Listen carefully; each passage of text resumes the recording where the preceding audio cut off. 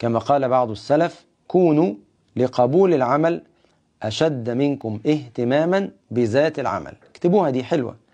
كونوا لقبول العمل أشد منكم اهتماما بذات العمل. يعني نطلع من فكرة إن أنا بهتم بأشكال الأعمال بس إن أنا صلينا كام ركعة قرأت كام جزء إحنا صلينا تهجد في رمضان ختمنا في رمضان. صلينا بثلاث أجزاء في التهجد. صلينا بجزء في التهجد. آه وزعنا ألف شنطة في رمضان. عملنا دخلنا ألف أسرة يتيمة. مئة أسرة يتيمة. صلينا 11 ركعة بالليل. يعني آه بعدين يعني. أعداد أعداد أعداد أعداد أعداد. لكن صليت إزاي بقى؟ قرأت الجزء ده إزاي أو الجزئين دول إزاي؟ حال قلبك إيه وأنت بتطلع الصدقة؟ مش مهم. المهم إن إحنا عملنا الأعداد الأعداد. إحنا عايزين نطلع بدرس جديد. مش هقول ما لا مش مهم الأعداد. ماشي اعمل الأعداد زي ما أنت عايز. بس أنا عايز دلوقتي أتعلم. أنا دلوقتي ب ب بموت بقول يا رب يا رب اقبل عملي. فأنا عايز من من الآن إن أنا يكون اهتمامي من قبل ما يجي شعبان الجاي. أنا عايز من دلوقتي بقى عشان شعبان الجاي يبقى المهم أسهل شوية عليا. أنا من دلوقتي بقول يا رب أنا أهتم بقبول العمل أكثر من اهتمامي بالعمل. لذلك فضالة ابن عبيد بيقول كلمة جميلة قوي يقول لأن أكون أعلم أن الله قبل مني مثقال حبة من خردل أحب إلي من الدنيا وما فيها. تاني لأن أكون أعلم أن الله قبل مني مثقال حبة من خردل أحب إلي من الدنيا وما فيها. قالوا له ليه؟ قال لأن الله يقول في سورة المائدة إنما يتقبل الله من المتقين. لأن الله يقول في سورة المائدة إنما يتقبل الله من المتقين. يبقى لو قبل مني يبقى دليل إن أنا تقي. فلو أنا كده تقي يبقى أنا دي أسعد حاجة أكيد هعرفها في الدنيا. ذلك أحد السلف يقول لو أعلم أن الله قبل مني سجدة لتمنيت أن أموت. بس محدش بيعلم. محدش بيعلم. بس إحنا هنقول في الدرس الجاي العلامات ديت. لأن أكون لو لا لا قال لئن علمت أن الله قبل مني سجدة لتمنيت الموت. لتمنيت ليه؟ الموت. ولما تشوف اهتمام الأنبياء نفسهم واهتمام السلف بقضية القبول تحس إن أنت مقصر جدا. يعني تعالى كده نشوف النبي عليه الصلاة والسلام هو بيقول إيه؟ اللهم إني أسألك هقولوا معايا اللهم إني أسألك علما نافعا صح؟ ورزقا طيبا. وإيه؟ وعملا إيه؟ وعملا متقبلا اللهم اني اسالك علما نافعا ورزقا طيبا وعملا متقبلا فهي مسألة مش فكرة عملا كثيرا إنما عملا متقبلا يعني أنا أسجد سجدة ربنا يقبلها أحسن ما أصلي 11 ركعة ربنا ما يقبلهمش مش كده؟ تسمع كده النبي عليه الصلاة والسلام هو بيقول إيه؟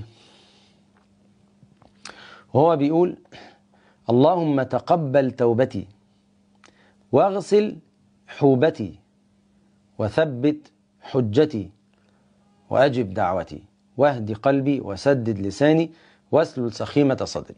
لكن قال في الأول إيه؟ اللهم تقبل توبتي. فهي القضية مش أنا تبت. القضية أن ربنا يقبل التوبة ديت. تمام؟ ثم تاب عليهم ليتوبوا إن الله هو التواب الرحيم. اللهم تقبل توبتي واغسل حوبتي وثبت حجتي وأجب دعوتي واهدي قلبي وسدد لساني وأسلل سخيمة صدري. عجيب. عمرك وانت كلنا أكيد سجدنا سجدات تلاوة. بنعدي على سجدة التلاوة بنسجد اللي حافظ فينا الدعاء ما خدتش بالك وانت بتقول في الدعاء؟ يعني أنا هقول لك الدعاء هتحس إن أنت أول مرة في حياتك تسمعه. وعمرك ما ركزت في الكلمة ديت رغم إن أنت سجدت سجدات تلاوة كتير وقلت الدعاء ده كتير. إحنا نسجد تلاوة بنقول إيه؟ نقول سجد وجهي الذي خلقه وصوره صح؟ وشق سمعه وبصره بحوله وقوته. اللهم اكتب لي لي بها عندك أجرا. واجعلها لي واجعلها لي عندك زخرة وإيه ها؟ مين هيكتب لنا؟ اللهم اكتب لي بها عندك أجرا واجعلها لي عندك زخرة بنقول إيه بعديها؟ كأنك أول مرة تسمعها كأنك أول مرة تقولها كأنك أول مرة تشوف الدعاء دوت. وبنقول إيه بعديها؟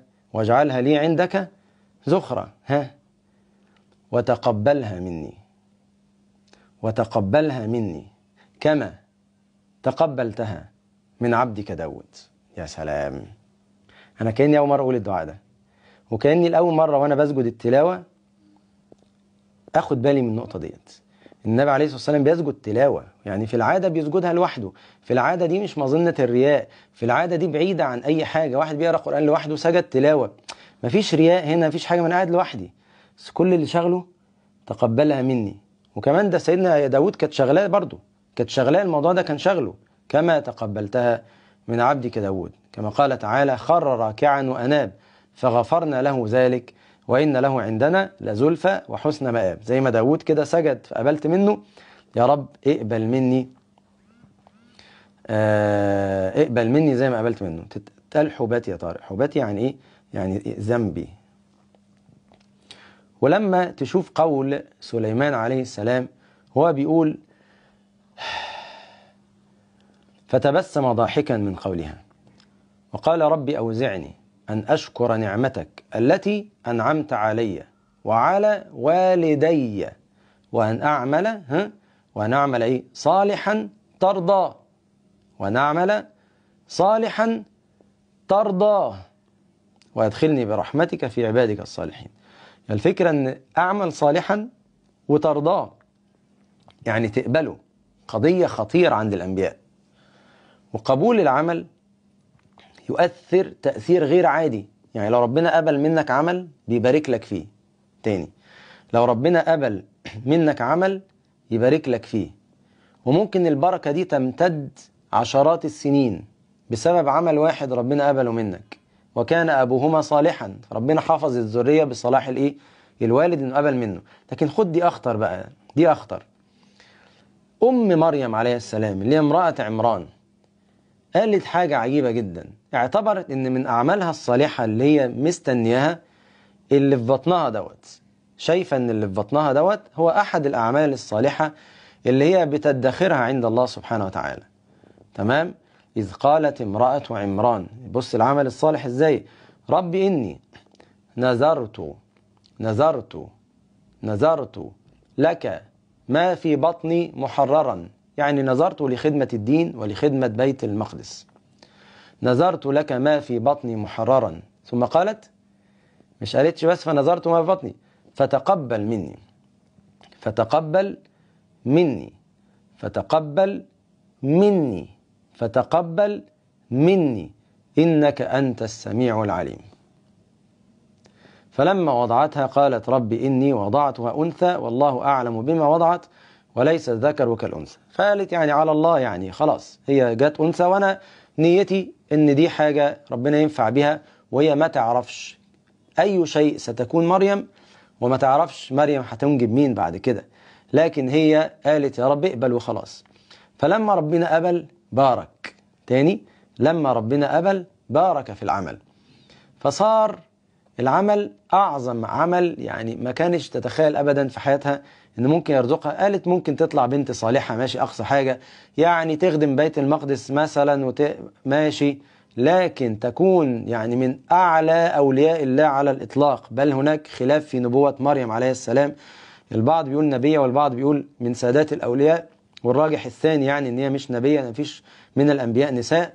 لكن يكون كمان حفيدها من نبي مش نبي لا رسول لا مش رسول لا من أولي العزم من الرسل من أفضل خمسة خلقهم الله سبحانه وتعالى محمد إبراهيم موسى عيسى ونوح. خمسة من أولي العزم من الرسل. يبقى ما إيه حفيدي واحد من أولي العزم من الرسل؟ ليه؟ ليه أنا عملت إيه؟ كل ده يا رب كل ده كل ده ليه أنا؟ تبقى بنتي مريم وحفيدي عيسى؟ عشان قلت بس تقبل مني؟ يعني لو رب لو أنت قبلت مني عمل ممكن ألاقي البركة في حياتي. البركة الاقيها في اولادي البركة الاقيها في أحفادي.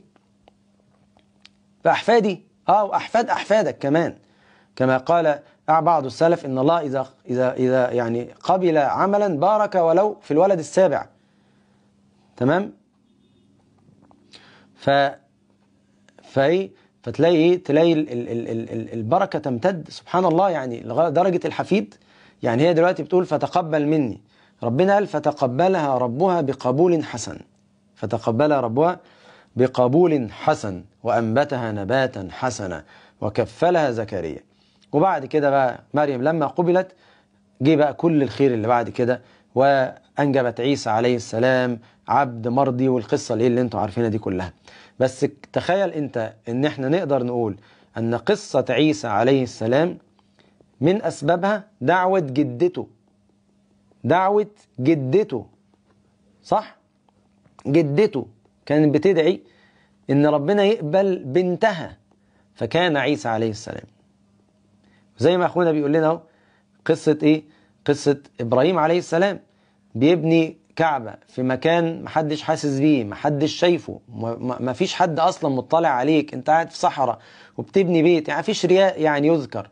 لكن كل اللي شغله وإذا رفع إبراهيم القواعد من البيت إسماعيل ربنا تقبل منا إنك أنت السميع العليم. طبعا ربنا قبل الواحد يستغرب والله ده. الواحد بيطلع عمرة عمرة بس بيرجع شايف نفسه يعني من الصحابة. لو طلع عمرة بيرجع شايف نفسه من الصحابة. ولو طلع حجة طبعا إيه يعني مش خلاص بقى. يعني لو ما قلتليش عم الحج ممكن أعورك. ف طب يعني إحنا بنبقى راجعين مغسلين وضامنين جنة. وهو اللي بنى الكعبة نفسه كان خايف عمله ما يتقبلش. اللي بنى الكعبة نفسه اللي هو كل ده بميزان حسناته كان خايف إن عمله ما يتقبلش. وإحنا بنرجع من العمرة خلاص إحنا كده إيه على الجنة على طول. حاجة عجيبة والله. عشان نعرف الفرق بيننا وبينهم. هو بيقول هو بيبني الكعبة. ربنا تقبل منا إنك أنت السميع العليم. طب ربنا قبل منه. شوف البركة. البركة أن هذه الكعبة لم ينقطع عنها العبادة. يعني من يومها إلى إلى إلى خلاص إلى غاية ما تتهدم في آخر في آخر الزمان. تمام؟ سبحان الله يعني. وأذن في الناس بالحج يأتوك رجالا وعلى كل ضامر يأتينا من كل فج عميق. إحنا عندنا القبول ده مسألة خطيرة جدا. خليني أقول لكم آخر حاجة النهاردة عشان ما أطولش عليكم. إحنا عندنا وهنكمل المرة الجاية عشان الموضوع ده رهيب جدا. عندنا القبول على درجتين. عندنا القبول على درجتين. الدرجة الأولى إن ربنا يقبل العمل نفسه. الدرجة الثانية إن ربنا يقبل العامل نفسه. تاني. الدرجة الأولى إن ربنا يقبل منك العمل. ممكن يقبل عمل والعمل التاني ما يقبلوش. ممكن في النهاية أعمالك اللي ما اتقبلتش أكتر من اللي اتقبلت تبقى أنت إيه؟ بين بين كده. مش عارف آخرتها إيه. الدرجة الأعلى إن ربنا يقبلك أنت نفسك. يعني إيه يقبلك أنت نفسك؟ يعني أنت خلاص بقيت عبد بالنسبة لربنا عبد مقبول. خلاص. خلاص. يعني انتهى الكلام. اتكتبت عند ربنا إنك أنت عبد مرضي مقبول. أنت نفسك. بغض النظر بقى عن أي حاجة هتحصل بعد كده. وعادة العبد المقبول سيكون موفق إلى أن يلقى الله. أضرب لكم مثال.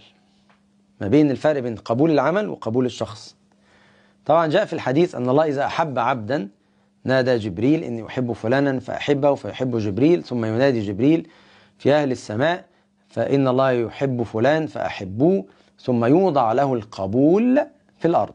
ثم يوضع له القبول في إيه؟ في الأرض. هو نفسه بقى عبد مقبول. بس هديكم مثالين يعني إيه عبد مقبول؟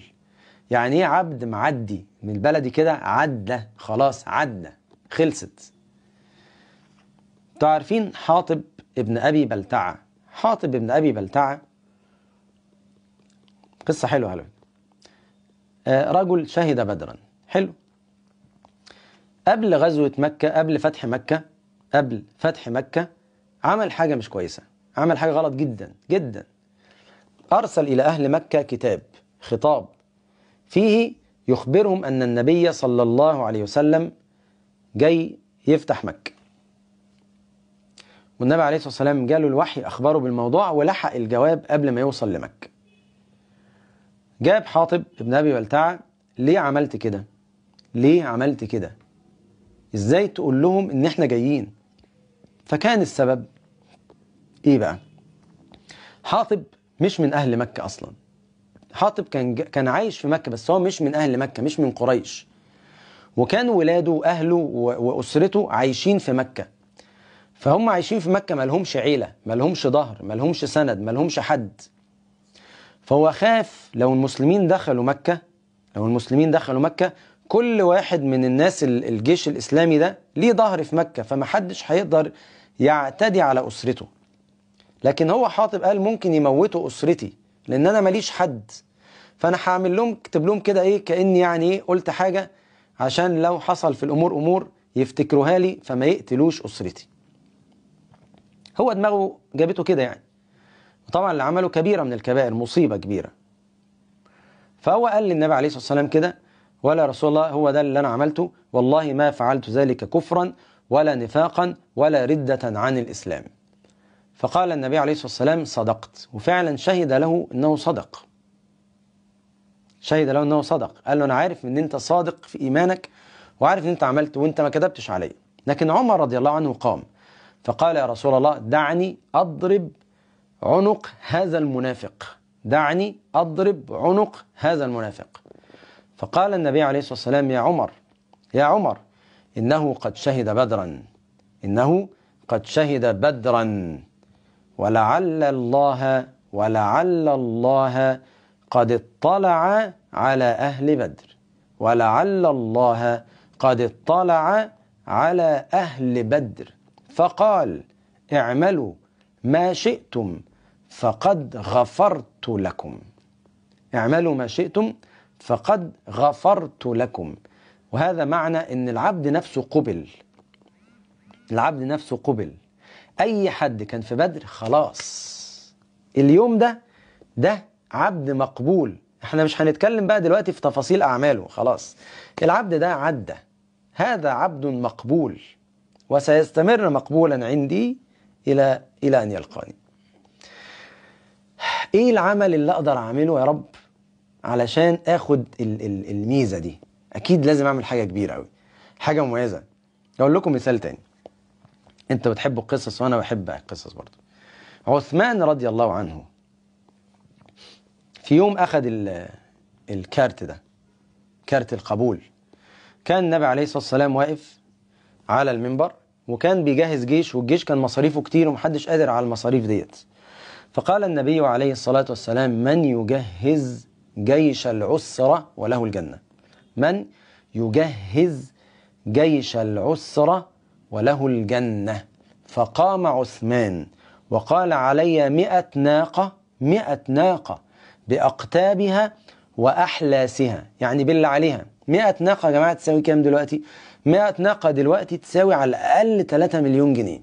على الأقل 3 مليون جنيه. ودي مش ناقة اللي هي بتتاكل كده لا دي بسافر يعني أغلى. وبالله عليها بالأكل بالشرب بالأسلحة. يعني نتكلم في 5 مليون جنيه. كده طلع كده أول طلع منه 5 مليون جنيه تبرع للجيش. فقال النبي عليه الصلاة والسلام لسه برضه موضوع مزنق شوية قال من يجهز جيش العسرة وله الجنة؟ فقام عثمان وقال علي مئتي ناقة مئتي ناقة بأقتابها وأحلاسها. يعني بل عليها. ثم قال النبي عليه الصلاة والسلام من يجهز جيش العسرة وله الجنة؟ فقام عثمان وقال علي ثلاثمائة ناقة بأقتابها وأحلاسها. يعني راجل وهو قاعد كده طلع على الأقل على الأقل 10 15 مليون جنيه. 10 15 مليون جنيه صدقة لجيش العسرة. فابتسم النبي عليه الصلاة والسلام. ونزل من على المنبر وهو يقول ما ضر عثمان ما فعل بعد اليوم. ما ضر عثمان ما فعل بعد اليوم. خد بالك كلمة بعد اليوم. إذا قبل اليوم ده كان غير بعد اليوم ده. بعد اليوم ده عثمان صار عبد مقبول بذاته. خلص خلصت قصته اليوم دوت. خلاص هذا عبد سيكون موفق إلى الأبد. سيلقى الله على خير.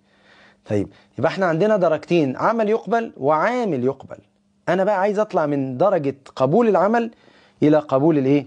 إلى قبول العامل نفسه. يا ترى إيه العمل اللي تقدروا تعملوه؟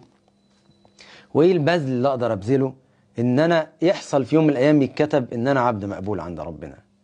أكيد الموضوع محتاج مجهود. ما نعرفش ممكن حاجة بسيطة ربنا يقبلها وتتقبل بيها أنت.